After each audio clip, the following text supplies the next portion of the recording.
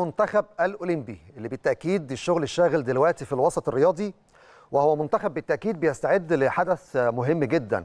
دورة الألعاب الأولمبية في باريس وأول مباراة لمنتخبنا يوم 24 7 إحنا بنتكلم بالظبط باقي 14 يوم أسبوعين على المشاركة الرسمية لمنتخبنا في الدورة الأولمبية في باريس. طبعا في كلام كتير ودوشة كتير.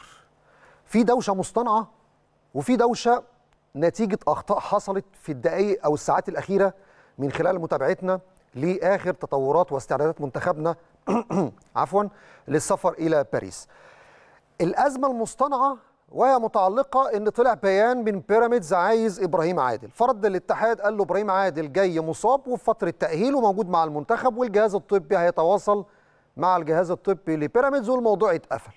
دي الأزمة المصطنعة والقصة خلصت وإحنا مركزين أكتر في ماتش الأهلي وبيراميدز. التفاصيل دي ما بنقفش قدامها كتير ولكن بما إن الاتحاد أعلن على صفحته الموقف الرسمي فهنقوله النهارده.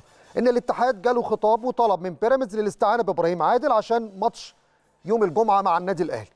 لما الاتحاد سأل الجهاز الفني والجهاز الطبي للمنتخب قالوا اللاعب مصاب واللاعب فضل إنه يكون موجود مع المنتخب عشان يتابع حالته الصحية والفنية. وبعد التنسيق مع الجهاز الطبي للنادي للاطمئنان عليه تقرر استمرار اللاعب. فالقصة خلصانة من قبل ما تبدأ. ده رقم واحد.